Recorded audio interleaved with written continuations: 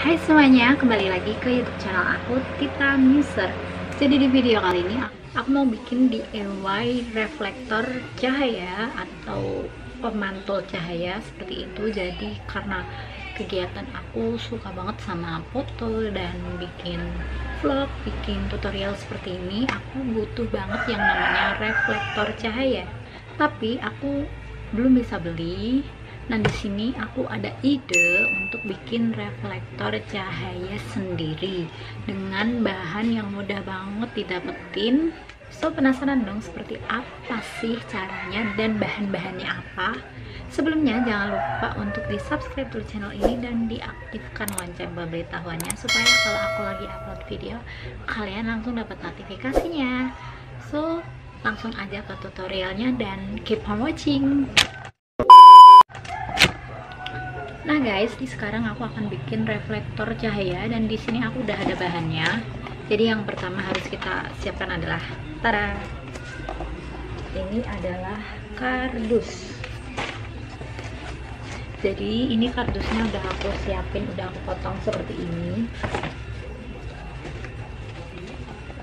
By the way ini kardus dari Sweetie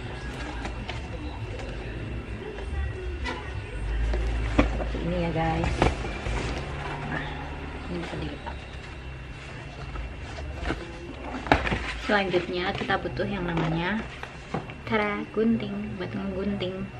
Dan selanjutnya yang perlu kita siapkan juga adalah jeng-jeng solasi. Dan yang terpenting yang harus kita siapkan adalah Tara!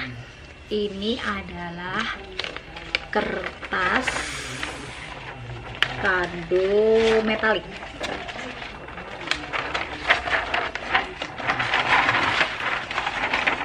By the way di sini aku punya dua lembar yang warnanya gold. Dan ini dua lembar warna silver ini harganya sekitar berapa ya? 1000 1000 sampai 2000an sih kurang lebih nggak sampai. 5000 nggak sampai kayaknya lupa sih aku harganya berapa. Pokoknya sekitar segitulah nggak sampai. 5000 satunya. Nah penasaran dong seperti apa caranya? Yuk kita mulai jadi yang pertama kita harus punya kardusnya dulu yang udah siap dipakai udah pokoknya udah dibentuk sesuai keinginan kalian. Tapi aku saranin emang gini ya maksudnya kayak dia itu kayak persegi panjang gitu jadi kan bisa dibentuk kayak gini ini bisa diginiin. Nah gitu.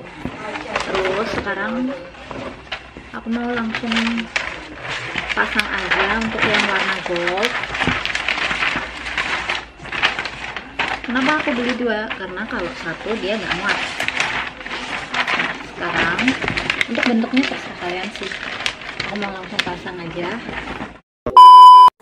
Oh ya guys sebelumnya jangan lupa kalian juga sediain klip ya atau jepitan seperti ini. Ini aku pakai klip buku klip jepitan buku kayak gitulah biar apa? Biar dia itu enggak lari-lari gitu loh. Nah jadi sekarang kan udah dibentuk nih udah aku pas-pasin terus habis itu aku tinggal solasi deh. Pokoknya sebelumnya kita harus pastiin jangan sampai kayak lari-lari mencang-menceng begitu ya. Supaya apa? Supaya hasilnya itu rapi dan memuaskan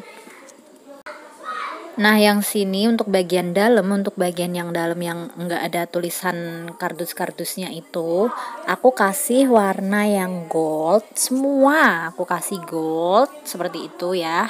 Nah, ini aku solasi-solasi. Ini yang lembar pertama. Masih di lembar pertama aku solasi-solasi. Terus itu apa namanya? klipnya, jepitannya itu aku pindah-pindah gitu pokoknya untuk yang bagian pertama itu aku pakai warna gold dulu. Terus habis itu nanti baru yang bagian belakangnya yang bagian ada tulisan Sweetie Bronze Day Active Pants itu aku kasih yang warna silver. Sebenarnya terserah sih mau bagian mana aja yang penting kalau gold gold aja kalau silver silver aja. Pokoknya intinya kita punya dua warna tapi terserah kamu. Kamu kalau pengen gold semua ya terserah tapi kalau pengen silver semua ya terserah. Kalau di sini kan aku pengen punya dua warna.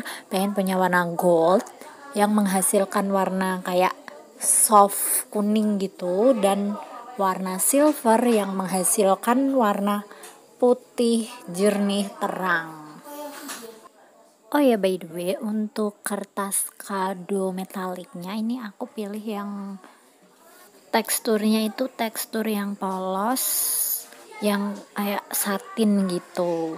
Kan ada banyak nih metalik ya, ada yang dia itu kayak ada teksturnya, terus ada yang kayak ada glitternya gitu. Kalau di sini aku pakai yang bener-bener real metalik polos sudah gitu aja dan teksturnya itu tekstur yang lunyu tekstur yang satin seperti itu soalnya apa? Soalnya aku ngerasa kalau dia itu kan lebih memantulkan cahaya dengan natural ya. Kalau misal kita pakai yang ada teksturnya gitu aku takutnya kalau dia nggak bisa maksimal atau enggak gitu kayak gimana ya? Kayak sayang juga karena kalau yang ada teksturnya itu kan biasanya lebih mahal dan untuk pemantulan warnanya itu kurang berkesan.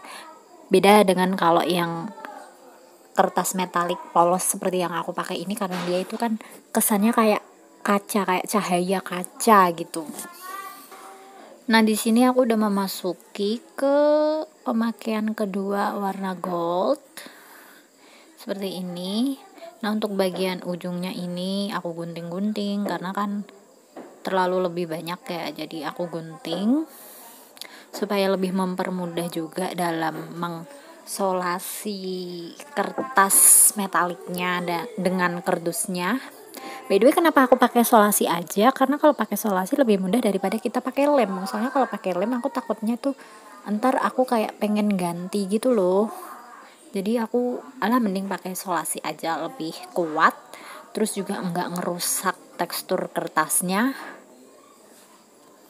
tapi yang terpenting solasinya harus bening ya guys. Jangan pakai solasi yang ada warna-warnanya gitu. Jangan. Pokoknya harus pakai yang bening. Nah di sini udah hampir selesai. By the way ini membutuhkan waktu yang cukup lama ya karena ini di sini aku kan sambil nge-record jadi aku juga mastiin ini aku bikinnya bisa ke record nah sekarang udah selesai. Untuk bagian gold selanjutnya ini kan ada perpisahannya. Ini aku solasi juga. Biar rapi biar nggak sobek. Oke okay, next. Ini aku udah selesai untuk bikin yang silver. Sekarang aku tinggal finishing yang silvernya ini. Tinggal sedikit aja. Tadi aku nggak record. Kelamaan juga. So tinggal disolasi deh.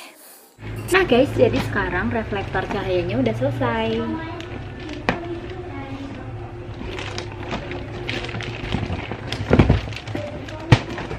yang cahaya emas yang pantulannya itu warnanya kuning dan ini yang pantulannya warna silver hasilnya putih.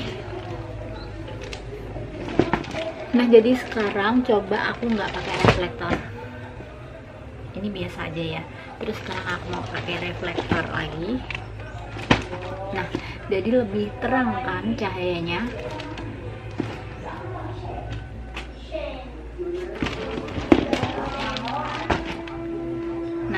jadi lebih kayak cenderung kuning yang soft kalau ini lebih ke putih yang jernih. Dan sekarang aku nggak pakai. Nah beda banget kan hasilnya. Nah jadi cukup sampai di sini untuk DIY reflektornya. So kalian bisa coba sendiri ini di rumah dengan bahan-bahan yang mudah banget ditemuin dan tentunya sangat affordable banget bukan affordable lagi. Ini udah yang murah murah banget. So sampai di sini dan see you di video aku selanjutnya. Jangan lupa untuk ditonton video aku yang lainnya ya karena banyak banget video yang bermanfaat